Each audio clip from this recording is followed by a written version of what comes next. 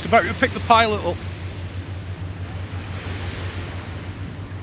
You're safe enough there. Yeah, say hello, Billy.